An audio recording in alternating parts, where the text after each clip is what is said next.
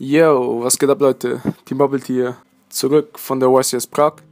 Und heute haben wir eine Top 10 Liste wieder mal. Und zwar diesmal die Top 10 Tech-Karten von der YCS Prag. Damit sind halt Karten gemeint, die normalerweise nicht so häufig gespielt werden. Und jetzt hauptsächlich gegen das Meta halt entweder gemaindeckt wurden oder auch im Side-Deck waren. Aber hauptsächlich im Main, um halt gegen das neue Meta anzukommen. Und dabei gehen wir halt durch 10 Karten davon. Habe ich mir halt die 10 ausgesucht, die am meisten benutzt wurden auf der YCS. Dabei habe ich halt nur Karten ausgewählt, die in jedem Deck sozusagen spielbar waren. Ich habe jetzt zum Beispiel nicht sowas wie diese Clifford Skill Drain ausgewählt, die halt jetzt neu in Clifford reingetan wurde, extra für dieses Meter, sondern echt nur so allgemeine. Und ich habe sie auch nicht gerankt, also ich habe denen jetzt keine Platzierung gegeben, weil für jedes Deck ist es anders. Es kommt halt darauf an, welches Deck du spielst und gegen welches Deck du spielst. Ob eine Karte jetzt sehr effektiv ist oder nicht, aber das sind halt jetzt die 10 Karten, die am meisten benutzt wurden dieses Wochenende. So, als erstes haben wir da Effektwähler. Wahrscheinlich gegen eine Cross halt, um Trishula zu stoppen. Und bei Kyros man kann es auch gegen Lavavel Chain machen, um ein paar Kombos zu stoppen. Oder einfach auf die Hände, also Senju und Manju, um einfach den Search-Effekt zu stoppen und das Deck gar nicht erst loslegen zu lassen.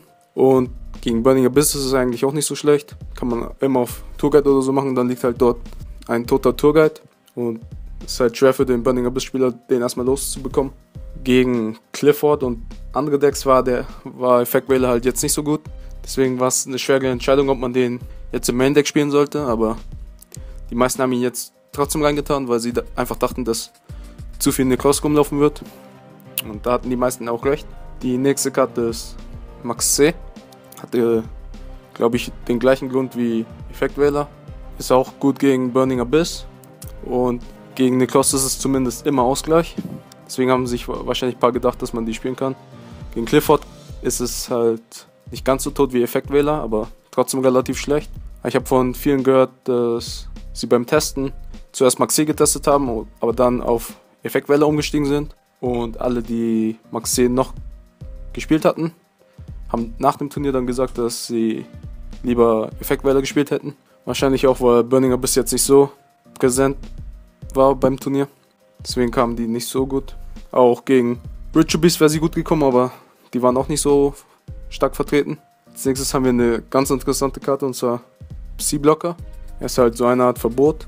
Einmal pro Runde kannst du irgendeinen Kartennamen sagen und der Effekt von der Karte wird für diese Runde negiert. Also ich muss sagen, ich weiß jetzt nicht, ob das gegen den Djinn Lock wirkt. Man kann es äh, zum Beispiel gegen eine Klaus Valkyros sagen und dann den Gegner Otekan oder einfach auf ein offenes Emptiness. Also sehr flexibel der Effekt und einige Spieler dachten sich, dass er gut genug ist, um ihn zu mainen. Oder zu, zumindest zu sein. Dann als nächstes haben wir einen altbewährten Antimeter-Freund. Und zwar Donnerkönig Rayo. Ist halt perfekt gegen Nikos. Stoppt einen davor, Karten zu adden. Gegen Clifford nicht schlecht. Einigermaßen. Also ich habe ihn selber zu einer ungünstigen Zeit kassiert. Ich hatte zwei Brio auf der Hand und Manju und Senjo, also der hat mich auf jeden Fall getötet und Statella-Spieler und andere Decks haben wir halt gespielt, um gegen den Cross anzukommen. War, denke ich mal, relativ erfolgreich. Dann haben wir als nächstes die einzige Zauberkarte, und zwar Shed Ride, Schnellzauberkarte. Und was mich überrascht hat, das haben sehr, sehr viele Necross-Spieler gemeindeckt. Es hatten wohl echt viele Necross erwartet und Mirror Match und so. Und die Karte stoppt das Deck echt wirklich hart. Ist auf jeden Fall eine gute Karte dagegen. Und hätte es die Karte damals gegen Spellbook schon gegeben, dann wäre die Karte damals sicher auch schon gezeigt worden. Also auf jeden Fall eine gute Karte, gute Wahl für das Wochenende gewesen. Dann kommen wir zu den Fallen.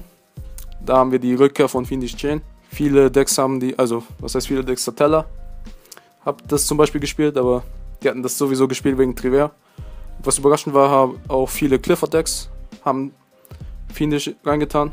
Drei Skildren war wohl nicht genug, also nochmal ein paar extra Fiendish Chain. Ja, und als nächstes haben wir Eisenmauer. Die Karte ist auch relativ nützlich gewesen. Also konnte man gegen Richard Beast boarden, Infernoid und halt auch wieder gegen The Cross. Alles gegen The Cross. Wenn die halt liegt, kann der Gegner keinen Valkyros-Effekt nutzen, keinen Dejin, die Spiegel nicht aus dem Grave benutzen und natürlich auch kein Trishula geben, also gar nicht schlecht die Karte. Dann haben wir Mind Crush. Die Karte wurde auch sehr oft gespielt.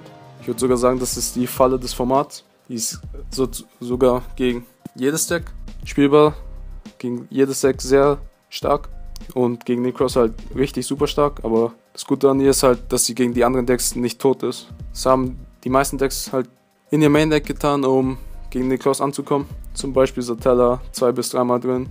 Im Mirror konnte man das auch reinzeigen, also sehr starke Karte in dem Format. Die nächste Fallenkarte war sehr überraschend. Ich weiß nicht, woher das auf einmal kam, aber Mirror Force ist zurückgekommen. So ein paar Satella-Spieler haben es gespielt, habe ich gesehen. Zumindest eine davon und Clifford hat die gespielt. Also für mich sehr überraschend, dass die wieder zurückgekommen ist. Als letztes haben wir Mistake, auch eine starke Fallenkarte. Selber Effekt wie Rayo, keiner kann Karten adden. Und vielleicht habt ihr das Feature-Match gesehen vom Finale.